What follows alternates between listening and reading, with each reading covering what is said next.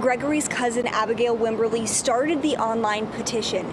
She said she lives in Hawaii, so she couldn't come down to Fort Hood to protest, but she still wanted to demand justice for her cousin. He, he wasn't a deserter. He was he was a soldier that got murdered. That's what Gregory Wedel Morales' cousin Abigail Wimberly has to say when it comes to the military status of her cousin.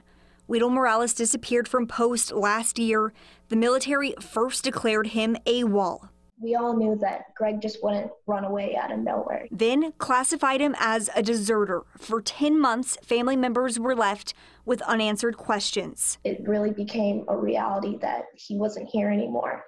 And a lot of my family is just no one can really process the fact that he's actually gone. In late June, while CID was investigating the case of then missing Fort Hood soldier Vanessa Guillen, remains were found in a field in Killeen.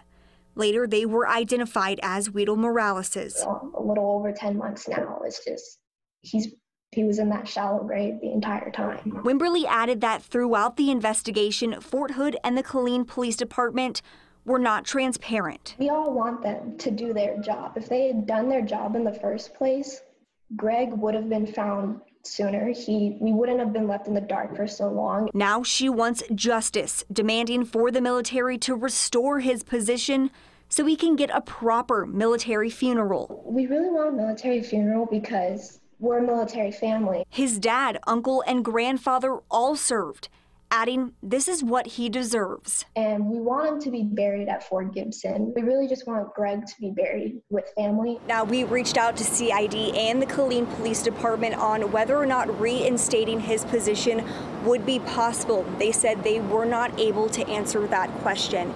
As for the online petition, it now has over 17,000 signatures. You can find more on that on our website. Reporting to you tonight, Casey Bowen, Fox 7 Austin News.